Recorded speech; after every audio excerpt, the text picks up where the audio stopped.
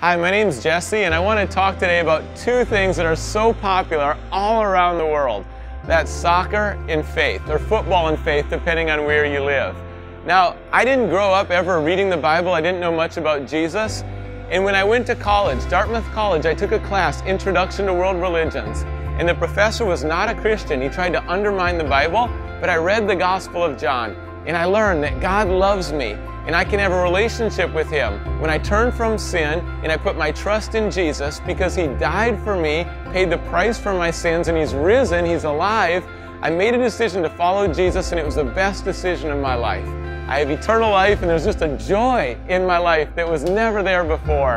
And in that deepest place, there's fulfillment and satisfaction because of this relationship with Jesus. Now, soccer is also a passion in my life, and I was a goalkeeper. I played in the United States, also in Scotland and in Zimbabwe.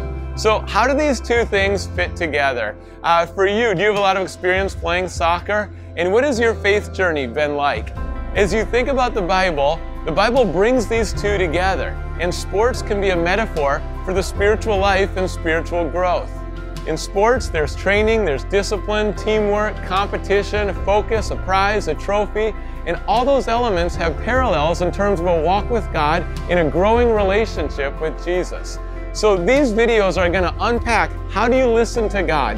How do you be part of a church family? What are your spiritual gifts? How can you serve other people? How can you uh, pass on your faith? Those are all some of the foundations of a healthy relationship with God. So let's go through these videos together and draw close to Jesus.